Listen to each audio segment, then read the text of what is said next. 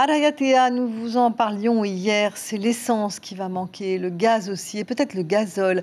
Les quatre stations de l'île n'ont plus de stock à cause des gens qui ont fait des réserves, anticipant une pénurie qui n'existait pas. Une fausse information aurait circulé sur Facebook, une rumeur affirmant qu'il n'y aurait pas de goélette euh, avant le 15 janvier, ce qui a provoqué cette ruée dans les stations-service. Cela va plus loin que la simple gêne. Pour les particuliers, les pêcheurs et capitaines de navettes pourraient eux aussi subir le manque de carburant. Tony Chalon, gérant de l'une des quatre stations-service de l'île, a été pris de court. C'est le fait que les gens ont surstocké.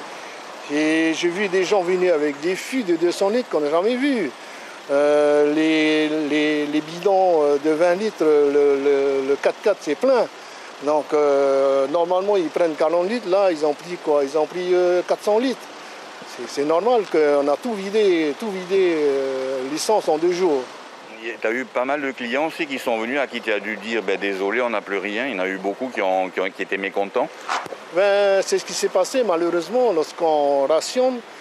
Euh, ça fait toujours des mécontents. Les gens veulent toujours avoir euh, plus euh, qu'il n'en fallait.